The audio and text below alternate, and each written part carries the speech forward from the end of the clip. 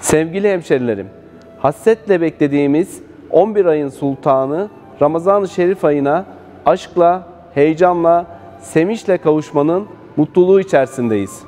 Ramazan ayı her Müslümanın derin bir istekle kendisiyle yüzleştiği, iş dünyasını tazelediği ve her yıl müminleri iyi yönde değiştiren rahmet, bereket ve mağfiret ayıdır. Bu aylar zenginin yoksulun halinden anlaması için çok büyük bir fırsattır. Bizi böyle mübarek bir aya kavuşturan Yüce Rabbimize sonsuz şükürler olsun. Kıymetli hemşerilerim, ibadetle neşelenen gönüllerimizin aramızdaki muhabbeti de pekiştirmesi temennilerimle mübarek Ramazan ayının size, ailenize, milletimize ve tüm insanlık alemine başta sağlık olmak üzere huzur, mutluluk ve bereket getirmesini diliyor. Hepinizin mübarek Ramazan ayını tebrik ediyorum.